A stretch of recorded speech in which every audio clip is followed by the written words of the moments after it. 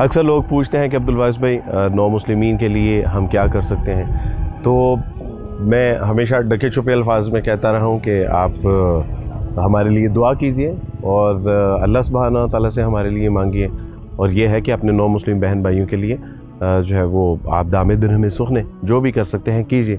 लेकिन ये एक एक अच्छी अपॉर्चुनिटी है। अगर आप अपने नौ मुस्लिम बहन भाइयों के लिए कुछ करना चाहते हैं, अपने बुज़ुर्गों के लिए सदका जारिया मस्जिद में को पार्टिसिपेट करना चाहते हैं तो इस मस्जिद में डिफरेंट एरियाज़ है जहाँ आप स्पेंड कर सकते हैं।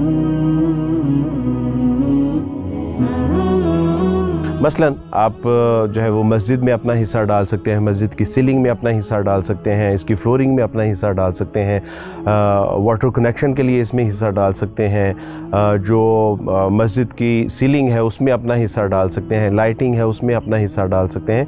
इसी तरह मुख्तलिफ़ प्रोजेक्ट में हमने उसको सेग्रीगेट किया हुआ है। अगर कोई इंटरेस्टेड हो और वो हकूकनास न्यू मुस्लिम कॉम्प्लेक्स के साथ ताउन करना चाहते हों और वो चाहते हों कि हम मस्जिद हॉस्टल रेजिडेंशल ब्लॉक या स्कूल में या स्किल सेंटर में डिस्पेंसरी में, कहीं भी वो लाइब्रेरी में पार्टिसिपेट करना चाहते हो तो ज़रूर वो उसमें अपना हिस्सा ले सकते हैं।